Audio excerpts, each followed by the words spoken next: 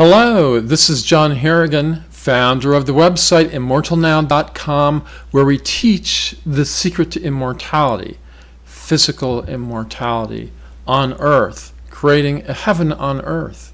How do we do this? Well, we do it through the three steps, the three major categories that we go through, that we practice to evolve and transform.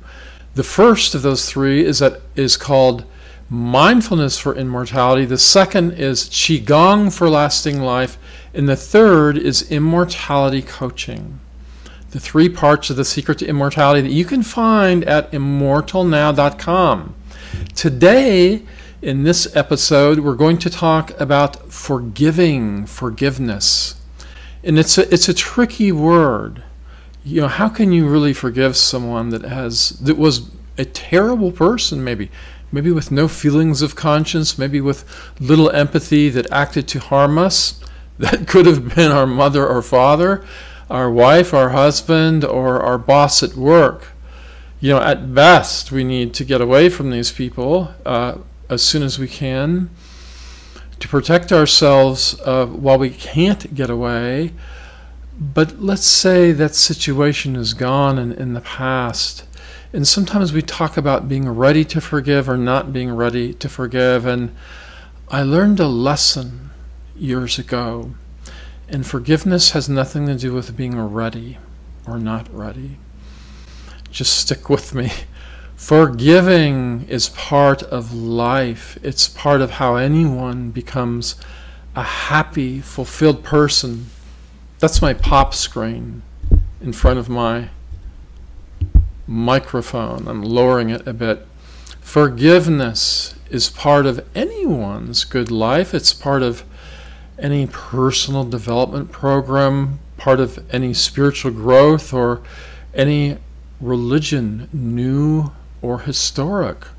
Forgiving. In forgiveness and forgiving, we forgive our way to happiness, bliss, and love. We can't really feel happiness, bliss, and love we can't really feel relaxed and at peace if we haven't forgiven.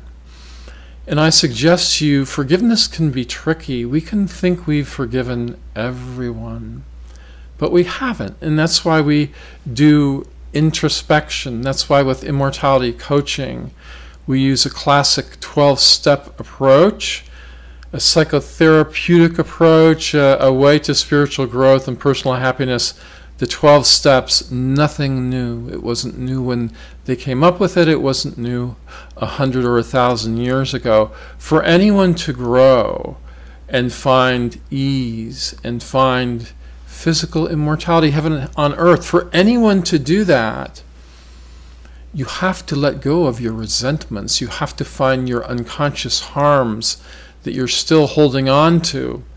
It is a natural process. When we're harmed, we're supposed to remember it. Who harmed me? Not forget it to keep ourselves safe. And if you need to remember a harmful person can hurt you and make yourself safe, that's kind of another issue. But just go along with me today. Forgiving other people is essential because it detaches us from that other person Let's say you had a childhood where some really bad things happened to you. The only bad things that can happen to human beings are physical abuse, sexual abuse, verbal abuse, and neglect. There's, if there's something else, write in the comments because I can't think of it as I'm here. The only way we can be hurt is physically, sexually acting out uh, wrongly somebody towards us, and verbally. And that's the only way we can harm other people.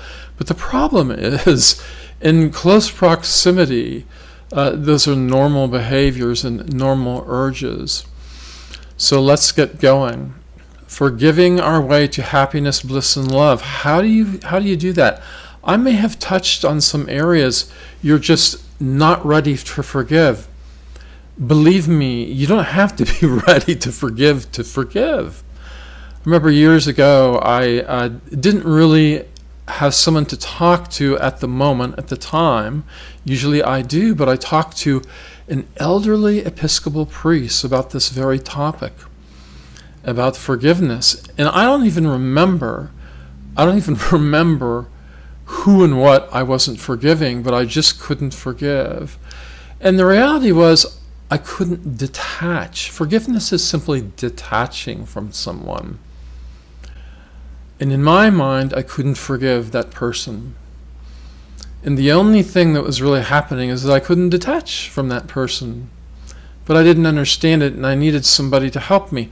I talked, she must have been in her 80s, and I'm not sure she really should have been talking to anyone. She was not the head priest of the church, just kind of a volunteer at that point. And um, overall, she gave really terrible advice, and she shouldn't have been talking to anyone in that capacity. But I know how to find the help that I need. And I asked her about forgiving, and she said, Well, you just forgive. And I think she just couldn't think of how to tell me to forgive. But, you know, when we come with a good perspective into asking for help, as soon as she said, You just forgive, something clicked in me. And I went away from that session thinking, Yeah, John, just forgive. And I just said uh, to the woman, So I'll just say, I forgive this person or that person. And she said, Yes. Not because she was wise, I think she was woefully incompetent uh, and shouldn't have been talking to anyone, but I decided to get something out of the session. And I won't talk about why she was woefully incompetent. I doubt she ever had the ability to counsel, a good training, and the experience, and it's just something that she suggested she could do at her advanced age when she couldn't. But it helped me nonetheless. I realized that if I just said, I forgive my mother, I forgive my father, I forgive my ex wife, I forgive this person, that person, I'm just mentioning all the people that can forgive us. I forgive that strange woman at the park that was accusing me of this and that uh, when she was just frankly disturbed. Um, what has happened in your life today that can you, you can think of? Just say, I forgive. Say, I forgive my life. I forgive this world. I forgive God. I forgive my higher power. I forgive a creation that is harsh and unforgiving, that is unfair, that kills and makes innocent people suffer. We have a lot of forgiveness to do. I suggest, with the secret to immortality that we teach at immortalnow.com, Forgive everyone and everything with me today. Let's forgive. Let's forgive the world. Let's forgive everyone we've ever known or will know. Let's forgive everyone and everything. Forgiveness is letting go and letting in compassion, grace, and love for ourselves. Some people say it has nothing to do with the other person. I doubt that's true. I think it has something to do with the other person. If we can forgive or stated more accurate, accurately, if we can disengage from a person that, that has hurt us, in some way it has to be productive for that individual individual, no matter how troubled, depraved, or perfectly fine that individual may be, when we can forgive and let go of that fear, resentment, and hate, when we can let forgive and detach from the situation, person, or thing, when we when we detach or let go of our idea a lack of forgiveness which is fear and resentment a lack of forgiveness is sim- simply a continuing attachment to the situation or person that hurt us. So today and i apologize for the glare in my glasses I don't know if I'll ever be able to fix that. And um, I apologize for the lighting in general. I'm in a new room and I'll work on that slowly and, and improve it over time. But we are forgiving, so please forgive the lighting of this video. Detach from the irritation or judgment you may have of it. Forgiving our way to happiness, bliss, and love I suggest every day practice forgiveness. Begin the day. I forgive myself, I forgive the world. The world can dish out some difficult things to us and to everyone else. I forgive myself. I forgive everything that's happening in the world this moment that's harsh and wrong. We're teaching the secret to immortality here at immortalnow.com. I suggest you go. You can read free articles on our blog. You can find our podcast up in the top of the page menu. You can find our book that you can order on Amazon. You can get going with The Secret to Immortality in the three steps mindfulness for immortality, Qigong for lasting life, and immortality coaching at our website, immortalnow.com. Please go. We're trying to really transform the world here. We don't need everybody to be forgiving. We don't need everybody to working to be working on their own immortal life in a heaven on earth on earth we just need enough people doing that to make a difference to change the physics of the planet and our experience forgiving our way to happiness bliss and love forgive everyone and everything right now this instant I forgive myself, I forgive my mother, I forgive my father, my sisters, my brothers. I forgive the world and everything harsh and difficult that's happening in the world or that has ever happened to me. Bliss, compassion, love. We're clearing the way for bliss, compassion, and love to come, come out of us, to come out of our core, out of our soul out of our true self, I suggest with the secret to immortality, in any program of spiritual development, they teach that at our core, at our soul, is happiness, bliss, and love, is peace and forgiveness. Because anyone that does progressive development work, whatever you call it, and whatever it is, eventually you get to that soul, that beautiful core inside. And different people describe it different ways, but they all basically say the same thing bliss, love, happiness, peace, timelessness, infinity, eternal life.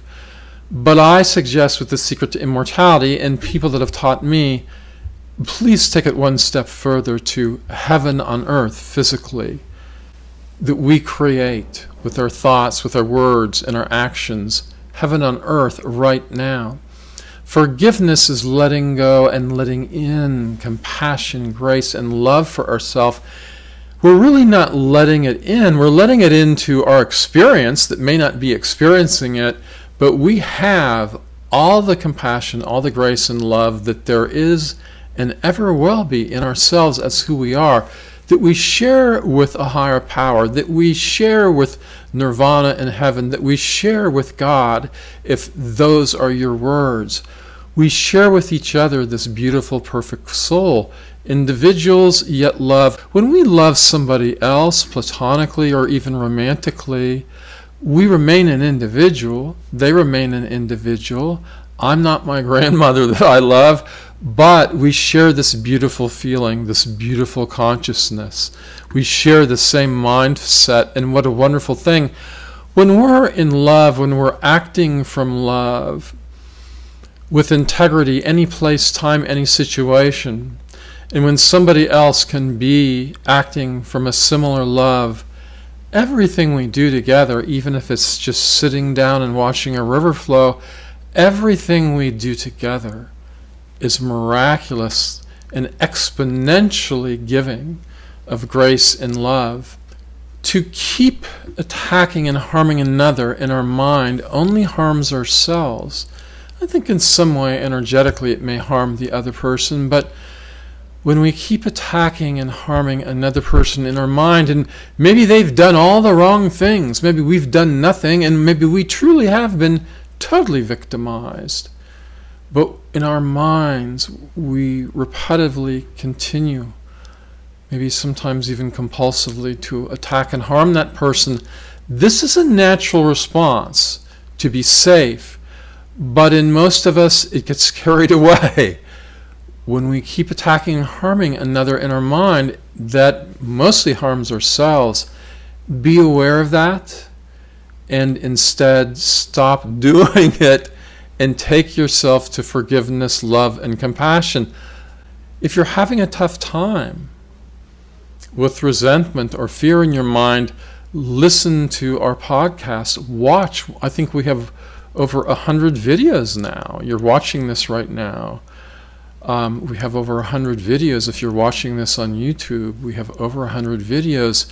If you're not doing well, just go to our video channel and watch one of our videos. Go to our website and read an article. Go to our podcasts and listen. This will be on YouTube, and also what I'm saying now will be on a podcast. To be whole, accepting, and kind keeps us open to the blessings of the world. When we can detach from a resentment, when we can forgive, which is simply detachment, we move into wholeness of self, of experiencing our deep core. To be whole, accepting, and kind keeps us open to the blessings of the world, the blessings of our soul, our core, the bliss of who we are. I promise you, all of that is you. And all you need to do is want it and seek it a little bit every day, a little bit every day with gentleness. Forgive and forgive again. Forgive the world, forgive yourself. Learn and grow as you do this. Forgive and forgive again. Love yourself, love the world. Let that infinite love flow as you say, I forgive everyone and everything. It allows you to love everyone and everything when you forgive everyone and everything. It, lo- it allows this beautiful love to come out from the core of you into the world. And it really is coming out. We're meant to be conduit, conduits of love, compassion, and forgiveness flowing that out into the world, connecting to the world's compassion, love, and goodness. I assure you, there's even more compassion, love, and goodness in the world, in the creation, than you could ever know until you start forgiving and letting your love, compassion, and goodness go into the world. I'm reading a little bit from my um, page, and I'll turn down the light from my computer screen page on the next video, and that should take care of some of the glare and make the lighting a little better. Forgive and forgive again. Forgive the world, forgive yourself, learn and grow. Every day, get that gift. We can receive the gift, a gift of gold all day long, that gold being the bliss, the love, compassionate, of the infinite, of our higher power, the God of our understanding, the gold of bliss, compassion, and love that is everywhere in the world, that is at our core inside us as we breathe, as we eat, as we sleep, as we walk, as we work. Be humane and good. To be happy, to be at peace, to be calm and relaxed. Be humane and good. That's how bliss comes about. But forgiveness is required. Detachment of the harms that have been done. Go- if we haven't detached, those harms are still in us. In the healing process of any religion, every spiritual program, any therapy, it's finding a way to let go and heal. Be humane and good. Forgiveness is required to let go and heal, listen to this podcast, or if you're watching this on YouTube, watch and listen to this again and again, and you'll slowly get it. You'll slowly be able to let go because you're not letting go alone. If you're healing, if you're gaining integrity, if you're disconnecting from resentments and harms that you continue, you do it because you're surrounded by a higher power that you feel and a greater love that you feel and you trust. Accept the perfect flow of love that is alive as who you are in the world in you. Everyone in the world can love each other. You know, some people aren't very nice, and it, it, for some of them, it can be a developmental thing, the way their brain um, grew, and that's science, and I'm not going to get into it, but understand that nobody acts badly because they want to. Um, nobody is a really terrible person because they set out in life even wanting wanting to be. Even Ted Bundy regretted that he just couldn't help doing bad things. Um, it's kind of a hell that these people are stuck in. And I'm not talking about saving them today. I suggest that you distance yourself from people that are harming you very quickly and then work on forgiveness from a safe place. Accept the perfect flow of love that is alive, that is who you are right now in your core, all of us. You know, even um, a death row man or woman that has done heinous things.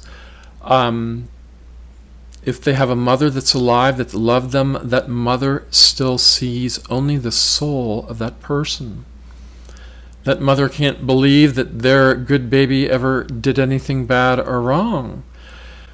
Sometimes we may be in a love relationship with someone terrible that's harming us, but we're able to see, see and experience their soul, and we still have love and acceptance of that person, yet you need to think about whether you should be in that relationship or getting away from it safely.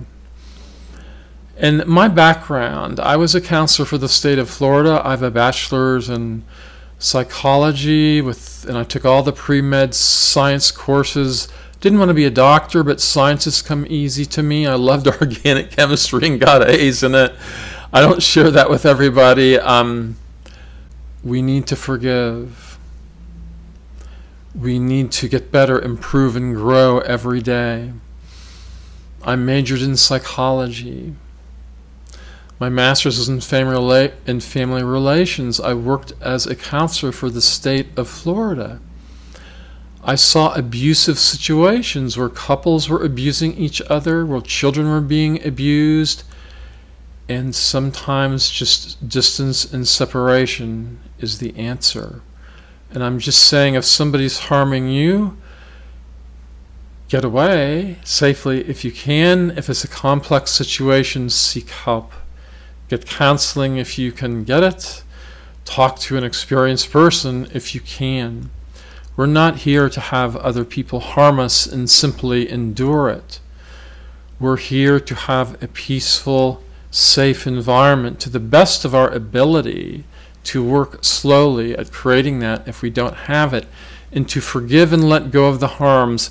I'm talking about our environment because it's really hard to forgive and get to our golden self when we're, we're living in a dangerous situation where people are harming us. And the people, unfortunately, that can harm us the most are the people closest to us, and that those are usually families and loved ones, or people that were at time loved ones.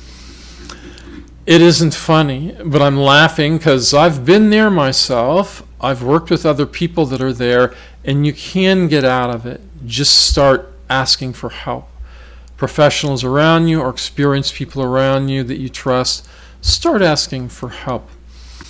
In the meantime, be humane and good. That's how we get to our eternal core. That's how we get to heaven on earth by creating it with our thoughts, our words, and our actions. Be humane and good, please. That is the secret to immortality. It's a little more than that. It's it's visioning physical immortality on earth. It's understanding how it works with some work, some reading on our website, immortalnow.com. But for the secret to immortality, be humane and good. Forgiveness is required. Required, I'm sorry to say. It is required. You can't have resentments and be feeling your best ever. You can't have resentments and get to the gold of your soul. Forgive. We kill ourselves literally and harm the world with unconscious, unconscious sentiment and mood of resentment and hate. Most of this, often, it's unconscious. Most of this is unconscious. It may be very conscious. You may be very angry at someone who hurt you. You may be wrongly angry at someone who didn't really hurt you. For the most part, minute to minute and day by day, most of our resentments, our anger, and our hate is unconscious. We don't think we really even have it. We may not think we have any resentments towards anyone. Well, try some immortality coaching, work through the 12 steps. The first step is we're powerless over the force of death, but we find that higher, we find that higher power, that greater reality within us that is eternal life that we can express in our physical bodies in the world to get to that, we have to do a little bit of work in immortality coaching. Before you do coaching, you do mindfulness for immortality. You can read all about that on our website for free. You can try some Qigong for lasting life on our website for free to see if you like it and it works for you. This is simply how I've done this path how I've gone about this. And there's a whole interesting story. It's on our website in our blog articles, and I'll talk about it. I always do periodically. You need to know how this happened with me in my lifetime because really the same you're living the same life that I'm living.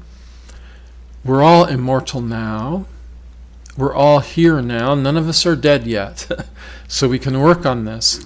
Mindfulness for immortality, number one. Two, Qigong for lasting life. Three, immortality coaching. As happy as we may be, we may have unconscious resentments, anger, and fear that is kind of like an energetic twist that eventually kills us and makes the world a terrible place.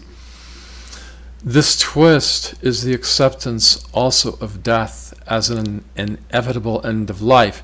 Disney talks about it and puts a nice shine on it, you know, the circle of life. But the circle of life is disease, accident, hardship, and death. And um, I've had enough of that. Uh, if you have also, get into the secret to immortality at immortalnow.com. Forgiveness today is what Everything is all about. Forgive and forgive again. Forgive with me right now, this very second. Forgive and forgive again. Forgive everything, everyone, ourselves, each other. Forgive the world. Forgive your higher power. We forgive. In that forgiveness, love and grace comes forth. Love and grace comes forth. It really does right now with me as we're talking about it. Forgive and forgive again. Have the most wonderful day of your life. You are immortal now.